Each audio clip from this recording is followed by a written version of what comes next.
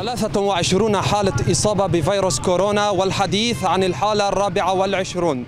نتيجة دخول امرأة عن طريق التهريب من مناطق ريف حلب الشمالي باتجاه مدينة إدلب ومدينة سرمين ما أدى إلى حجر مدينة سرمين بالكامل. لنستطلع آراء الناس والمدنيين عن رأيهم في عملية عمليات التهريب الحاصلة وعملية الحجر الحاصلة على مدينة سرمين وبقية المدن والبلدات وهي جريمة بحق المجتمع. الشعب المحرر. جريمة بجوز تقتل مئات الآلاف. ونحن هون ما قادرين على نعالج واحد ما هو نعالج مئات الآلاف. لا حجر صحي ولا مشف ما عندنا قدرة نعالج دول كبيرة كتير ألمانيا وأمريكا ما قدرت تسيطر على المرض. نحن جابوا لنا اياه بسبب دناءة نفسهم على بعض دولارات عم يدخلوا من مناطق النظام تهريب. نساء وأطفال مصابين بالكورونا بجوز مبعوثين خصوصا من عند النظام. هن عم يدخلوهم وبينشروا المرض وبيعملوا الوباء بكل المحرر وما لنا قادرين. يعني هاي مجزرة بقى تصير. عندك فكرة من وين صارت عملية تهريب له... له- لهي المرأة مثلا؟ على الأغلب من مناطق درع الفرات من الباب. هيك.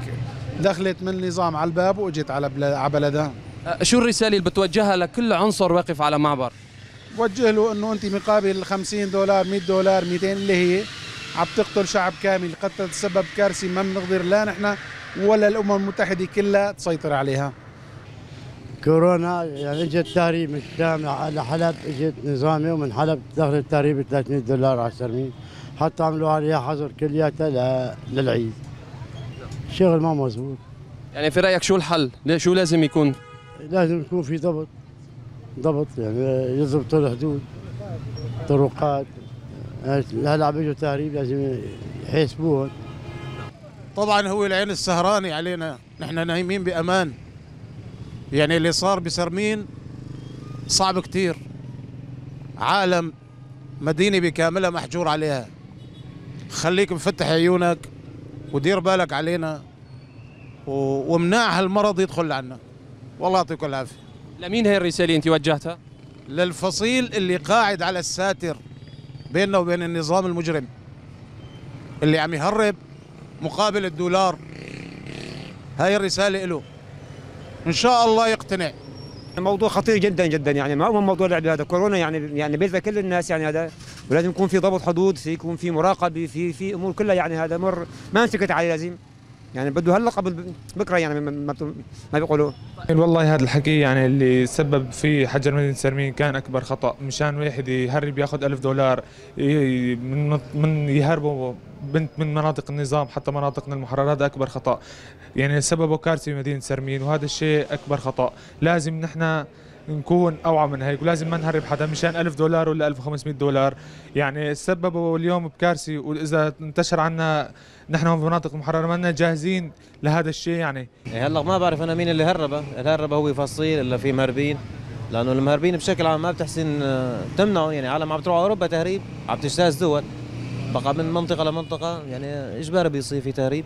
ما أنا مع التهريب بس بده يصير في يعني. يعني ف- في رأي في رأيك شو الحل؟ إيه؟ خوف ما يكون آه، تهريب منظم يعني فهمت علي شلون؟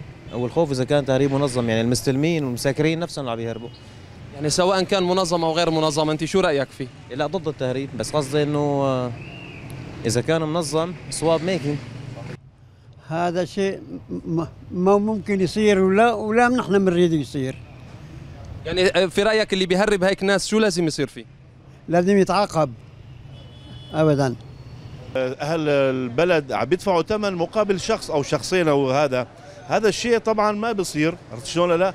فبدايه الأمر لازم يكون في الموضوع يكون في حسم.